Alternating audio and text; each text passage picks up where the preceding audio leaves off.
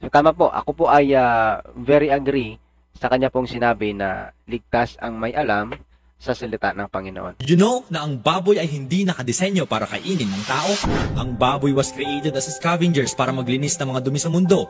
They eat anything na kahit anong ibigay mo. According sa consumers reports na ginawang test sa karni ng baboy, ay contaminated ito ng bacterium called Yersinia and Trichina na siyang sanhi ng iba't ibang uri ng sakit gaya ng liver cirrhosis, high blood pressure, sakit sa puso, stroke, pagtaas ng kolesterol, cancer at marami pang iba.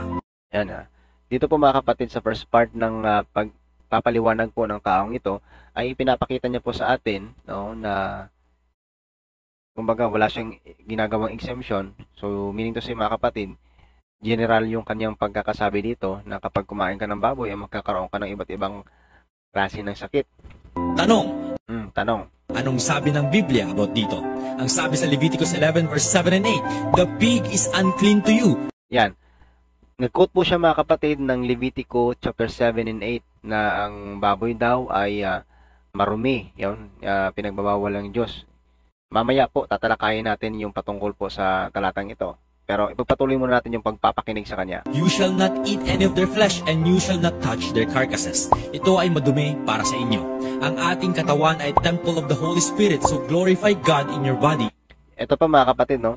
Magaling siya kumonekta ng ah, talata sa Biblia na okay, pinagbabawal ng Diyos ang baboy. Tapos na-explain niya sa first part niya na kapag kumain ka ng baboy ay magkakaroon ka ng samot-saring sakit, no? Napakaraming ah, ah, sakit yung makukuha mo doon sa pagkain mo ng baboy. And sinuportahan niya mga kapatid ng ah, our our body is a temple of the Holy Spirit. Yan po yung makikita din natin sa 1 Corinthians ah, 6:19. Pero ano nga ba ang katotohanan sa likod nitong ah, pinagsasabi ng ating ah, kapatid, no? Sige, ah, pakinggan pa natin siya upang ah, mabigyan po natin ng ah, dagdag na pagpapaliwanag at kaklaruhin po natin ang mga bagay-bagay dito mga kapatid. Kaya alagaan natin ang ating mga katawan para mag-glorify natin si God. Ligtas ang may alam sa salita ng Panginoon. Yan. So tama po, ako po ay ah, very agree sa kanya pong sinabi na ligtas ang may alam sa salita ng Panginoon. But anyway mga kapatid, so ah, iisa-isahin po natin ang kanya pong mga pinagsabi. Unahin po natin mga kapatid yung sabi niya na ang baboy daw ay kumbaga no, na, nakagamit siya sa general term kasi kung hindi general term yung kanyang ginamit, merong exemption. Sasabihin natin na maliban na lang sa ganito. Wala siyang exemption na ginamit mga kapatid. Therefore, general term po ang kanyang ginamit na kakain ka ng baboy ay magkakaroon ka ng samot-saring sakit. So well, ah, yan po ay according sa kanyang research. But we have also our own research mga kapatid. Ah, kung bubuksan niyo po ang ah, ang ah, website ng AHDB, yan, ah, about sa healthy facts po sa pork o yung pagkakain po ng baboy ay ah, sinasabi po dito mga kapatid. Yan. Ito po ang ating ah, na-research dito. Yan. Sabi po dito, mga kapatid, pork is a source of zinc, selenium, and vitamin B12 and B6. This helps the immune systems to work normally. So, ang pagkain pala mga kapatid ng ah, ng baboy ay hindi lang na napapasama ang kumakain ito. Bagkus, according po dito mga kapatid sa source na ito, it helps the immune system to work normally. Kailangan din pala na ma-receive din natin ito. No? Pork is a source of vitamin B12, B6, niacin, and riboflavin. Flavin. The vitamin, B vitamins that help redu- reduce tiredness, no? and uh, fatigue as part of healthy balanced diet and lifestyle. So mga kapatid, klarong-klaro po dito na part of the healthy balance diet and lifestyle ang uh, ang benefits no na makukuha po natin kapag kumakain po tayo ng baboy. Napakaklaro po 'yan. And it been mentioned here itong vitamin B12. Alam niyo po mga kapatid, nag-research din po ako. Ano nga ba itong sinasabi nilang uh, vitamin or yeah, vitamin B12. Ano nga ba itong vitamin B12 na pinagsasabi ng ating uh, itong uh, na-research natin, no? Tingnan natin, basahin nating maigi at uh, atin pong uh, bigyang pansin, no? Kasi dapat kapag nagre-research ay uh, dapat buong buo ang pagre-research. So ito po mga kapatid, basahin po natin. Ayon po dito, no? Vitamin B12 does a lot of things for your body. So, na, merong marami pong mga nagagawang benepisyo po, no? Yung vita- vitamin B12 sa ating katawan. It helps make your DNA in your red blood cells helps make your DNA in red blood cells. For example, na, sabi kasi, no, na yung kapag kumain ka ng baboy ay napapasama ka, pinag ah, pinagbabanggit niya pa yung mga mga sakit na pwedeng makuha po natin sa baboy. Ito. Pero dito naman po ina-explain na since your your body doesn't make vitamin B12, you have to get it from animal-based foods. So ibig sabihin po, ah, dahil yung ating mismong katawan na hindi makakapag-produce ng ah, vitamina no, or yung vitamin B12 na sinasabi dito mga kapatid, pwede natin itong makuha sa food supplement o di naman kaya sa pagkakain ng ah, sa ano no, sa content content ng ah, baboy. And you should do that on a regular basis. Okay? So ito naman po. Ako po ay merong paniniwala na ang lahat po ng sobra ay nakakasama. Eh pero hindi naman po sinasabi we, we are not encouraged to eat ah, pork too much mga kapatid. Ah, pero hindi po tayo discourage to eat this. Dahil meron naman po tayong benefit na makukuha po sa pagkain ng baboy, no? This vitamin B12 is very important po mga kapatid para po sa atin. And you should do that on a regular basis. While B12 is stored in a liver for up to 5 years. You can eventually become deficient if your diet doesn't help maintain the level. So magiging magiging ah, mahina pa nga po tayo mga kapatid o magkakaroon pa ng problema ang ating katawan kapag hindi na po tayo no na nakaayon sa ating ah, sa balanse ng ating pong pagkakain. So kailangan yung pagkain po natin ay na nababalanse din po 'yan.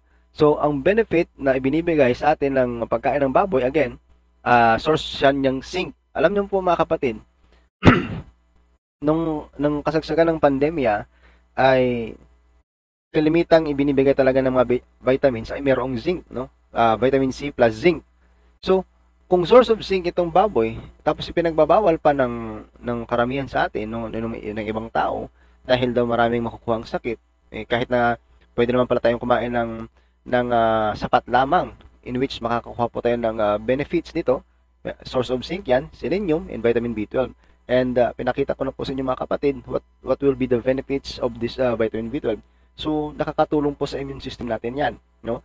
Nakakatulong po sa atin sa ah, sa ating katawan yung pagkain pala ng ah, ng ah, baboy. This helps the immune system to work normally, sinasabi diyan. So kung ayaw mong mag-work ng normal ang katawan mo, so wag ka lang kumain. So kasi may mga taong mahilig kumain ng baboy pero hindi naman ah, hindi naman sa pasobra-sobra. Yan nga yung naging resulta ay naging normal ang pag na- ang kanyang immune system. So sa mga gusto maging abnormal ang immune system, so huwag na lang silang kumain ng baboy. So ito po mga kapatid, no? Kung bubuksan po natin yung yung website nito, yung AHDB, sinasabi ko kanina. Okay. Ayun po dito mga kapatid. Healthy facts about pork you might not know. So, you might not, not know. Ibig sabihin, hindi po na, nalalaman ng karamihan o sabihin na lang natin no, na hindi talaga inaalam ng karamihan ang ah, benefits ng ah, pagkain ng baboy. Dahil kapag ah, inalam po yan, for sure ako mga kapatid, eh, magkakaroon po ng ah, problema ang mga hindi po kumakain ng baboy. So, what will happen? Ito po, napakaganda mga kapatid. Healthy facts about uh, about pork you might not know. People pick pork for a number of reasons and increasingly for the health benefits it uh, provides. Okay. Pork cuts such as uh, trim pork, fillet, and pork loin medallions are low in saturated fat. But that's not all. Take a look at the facts below to find out how eating lean pork contributes to good health and well-being as part of a balanced diet and lifestyle. Yan, klaro naman pala mga kapatid, no? Part of the balanced diet and the lifestyle. So yan pala, meron naman palang maganda o mabuting na idudulot o benefit itong ah, pagkain po natin mga kapatid ng ah, ng baboy. So, hindi po natin dapat na i-generalize, no? Na kapag kumain ka ng baboy ay sigurado mapapahama ka na agad, no? Magkakaroon ka na ng samot-saring ah, sakit. Ito pa, pork is no- ah, naturally rich of in protein. Alam po natin mga kapatid, ang protina ay kailangan ng katawan ng tao. Yan. Mhm. Protein contributes to the maintenance and growth in muscles, mass, muscle mass, and is needed for normal growth and development of children's bones.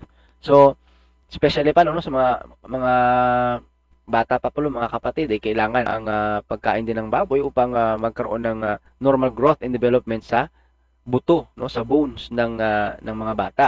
And ah, naturally rich in protein, no? Naturally. So ibig sabihin, hindi siya masama mga kapatid. Dahil ang protina ay kinakailangan po ng ating katawan.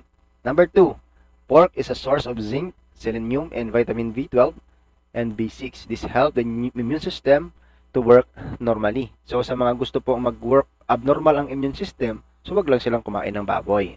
So yan po, ito ay ah, base sa source na ito no mga kapatid, HDB na meron din silang health ah, fact checks. Yan.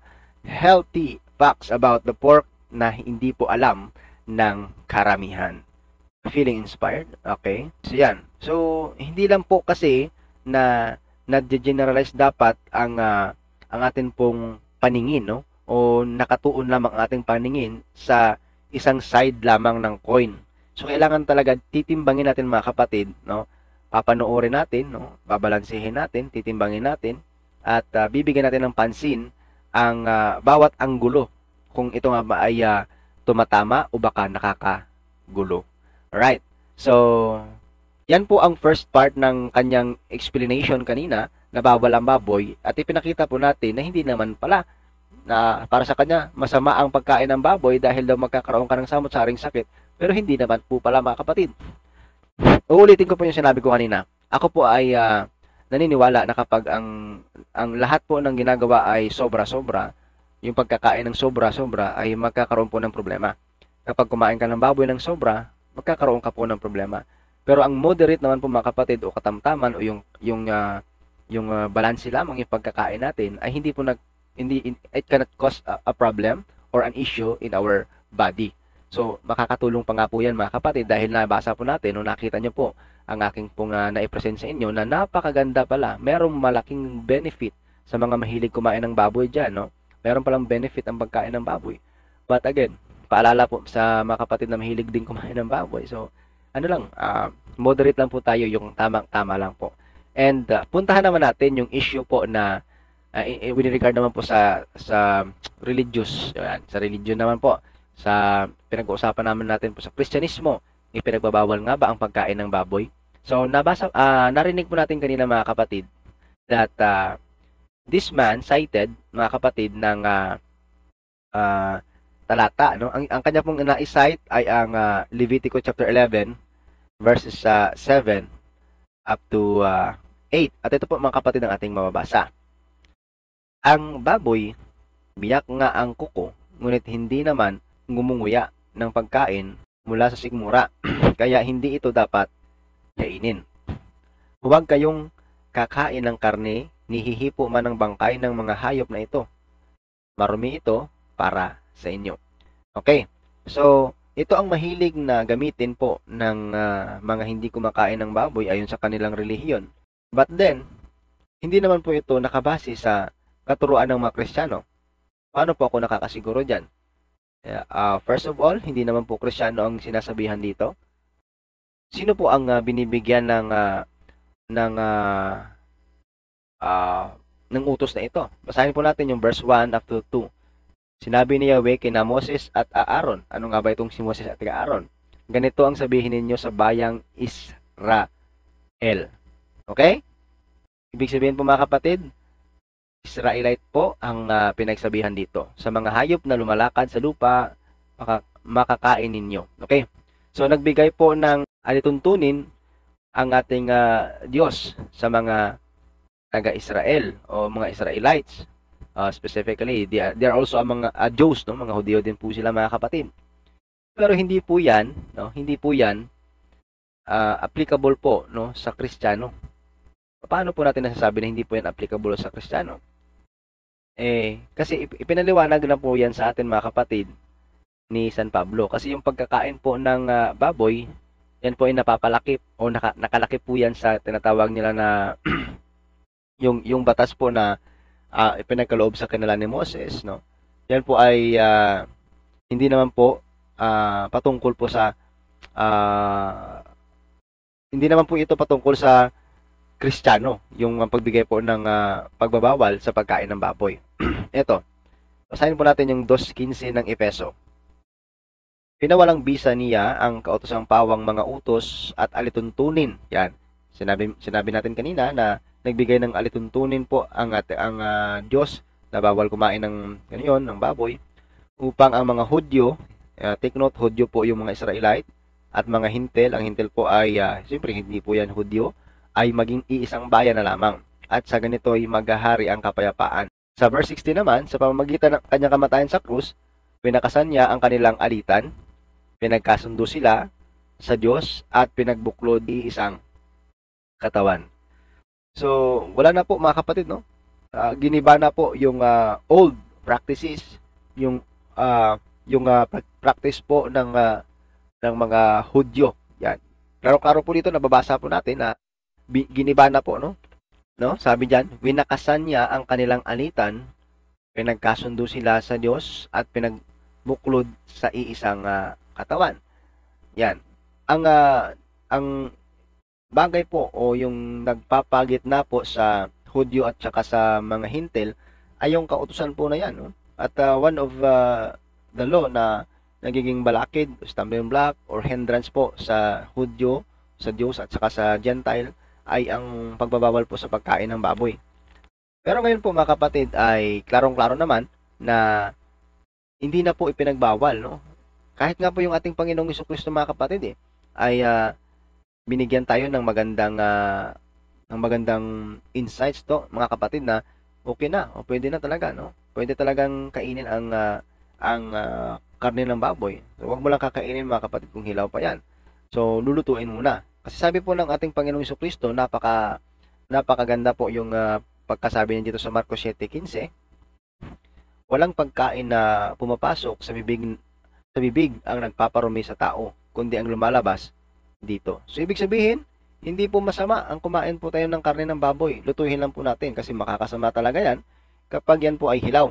And again and again po mga kapatid, ulitin ko po, meron po mga magagandang benefits po ang pagkain po natin ng baboy. At uh, binasa po natin kanina ay mayaman pala sa B12, no? Vitamin B12 po ang uh, ang uh, karne ng baboy. At ang uh, ang karne pa ng baboy pala mga kapatid ay source of protein din mga kapatid, no?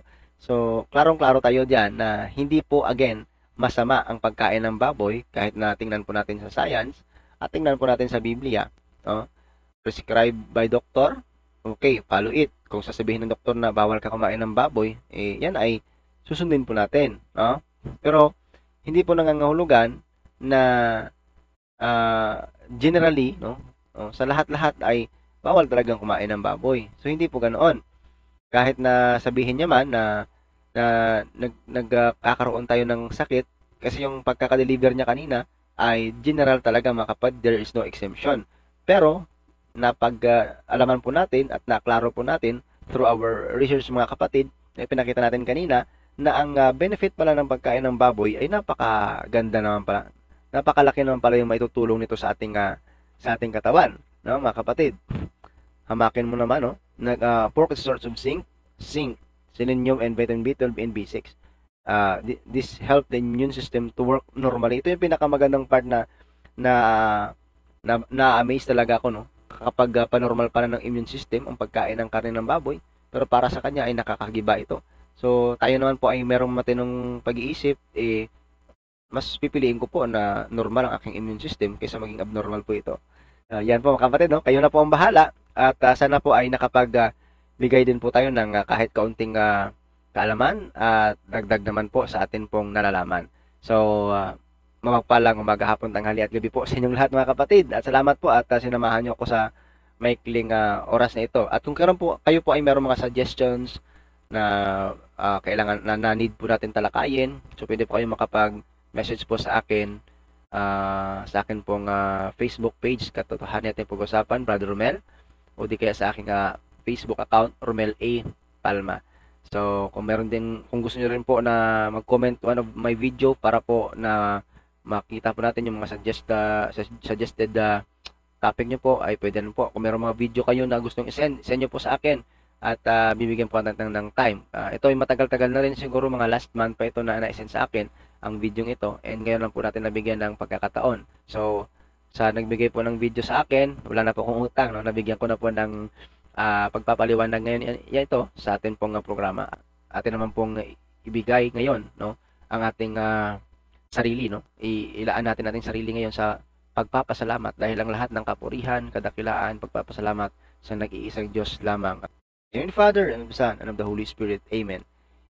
Paalam na po mga kapatid. Prodeo, et Ecclesia.